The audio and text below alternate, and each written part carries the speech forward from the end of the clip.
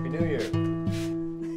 hey, buddy, what are you doing? Oh. What are you doing? He's an actor, my loves. My dissertation combines themes on both psychology and philosophy. And Have you ever met a girl who makes your entire world tilt on its axis? sure. Okay, so it was in first grade. How do you do it? Personality.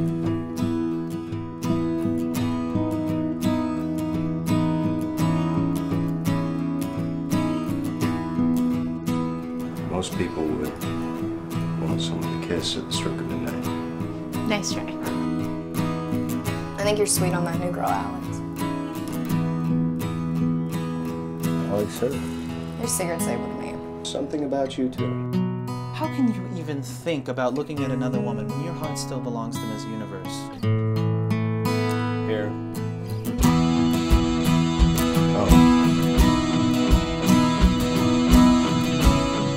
Egotistical, misogynistic, objectifying. Nothing you told me was true.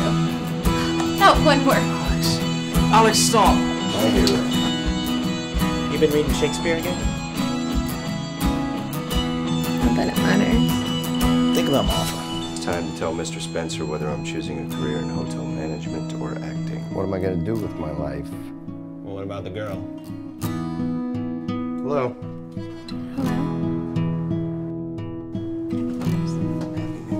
Opportunity like this just isn't gonna come around very often. If I'm not good enough. Well, I think we've already established you're not good enough for her.